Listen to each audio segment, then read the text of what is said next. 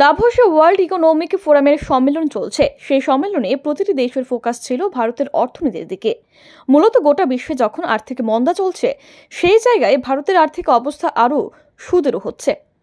ভারতের পরিস্থিতি, তার অবস্থান ও তার অন্যান্য গুরুত্বের নিরিখে ভারত বিশ্ব অর্থনীতিতে একটা কেন্দ্রস্থল অধিকার করে রয়েছে।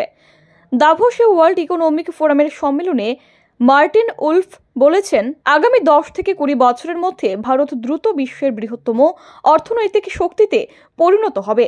বলেছেন, তিনি দীর্ঘদিন ধরে ভারতের অর্থনৈতিক অগ্রগতি পর্যবেক্ষণ করছেন। ভারত দ্রুত উন্নতি করছে, এটা সত্যি বিস্ময়কর। ব্যাখ্যা করে তিনি আরও বলেন, এটা খুব গুরুত্বপূর্ণ বিষয় যে আগামী দশ থেকে কুড়ি বছরের মধ্যে বিশ্বের বড় বড় অর্থনীতিগুলির মধ্যে ভারত দ্রুত বর্ধনশীল এক অর্থনীতির দেশ হিসেবে দেখা যাবে। বলেছেন, দেখতে থাকুন, ভারত ভবিষ্যতে বিশ্বের অন্যতম অর্থনৈতিক শক্তি হয়ে উঠবে। এর আগে বিশ্ব ব্যাংক জানিয়েছিল দু হাজার বাইশ তেইশ অর্থবর্ষে ভারতের অর্থনৈতিক বৃদ্ধির হার থাকবে ছয় দশমিক পাঁচ শতাংশ। ডিসেম্বরে এই হার সংশোধন করে তারা ছয় দশমিক নয় শতাংশ বৃদ্ধির পূর্বাভাস দিয়েছিল।